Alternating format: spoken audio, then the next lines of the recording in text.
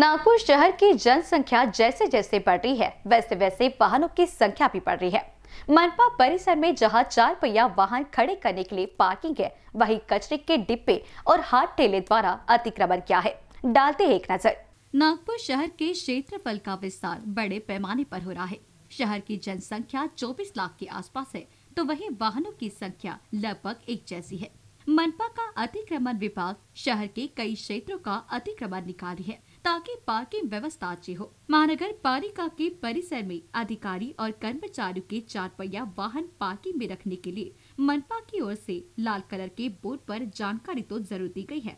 लेकिन अफसोस की उसी जगह लाल और नीले कलर के कचरों से पड़े डिब्बे और हाथ ठेले नज़र आ रहे हैं, जिसके चलते कर्मचारी अपने चार पहिया वाहन को जहाँ पर मना किया गया है, वहाँ पर रखे जा रहे हैं। आवेदन पार्किंग की ओर मनपा प्रशासन का ध्यान नहीं है।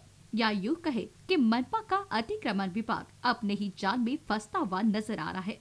नागपुर शहर में जिस प्रकार से जनसंख्या बढ़ रही है, उसी प्रकार से ये जो फोर व्हीलर है, टू व्हीलर है, इनकी भी संख्या बड़ी संख्या बड़ी मात्रा में जो संख्या है बढ़ रही है।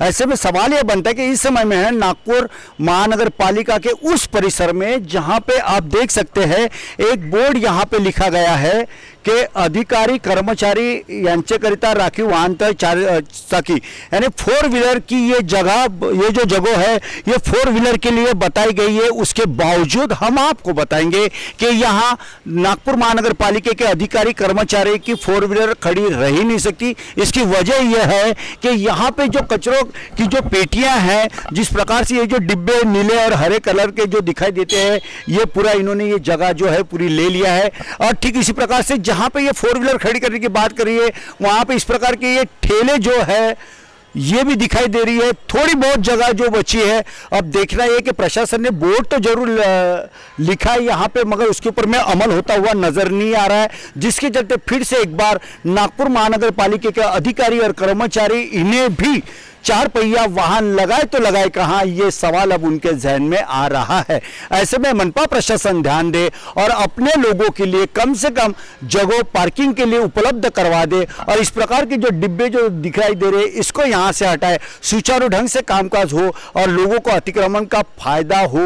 यानी कहने का मतलब उनके जो चार पहिया जो है, वो भी उन्हें रखने के लिए जगह मिले, यही शहर की जनता और मनपा प्रशासन के तमाम कर्मचारी की ये मांग। दबी आवाज़ में क्यों न हो, मगर हो रही है।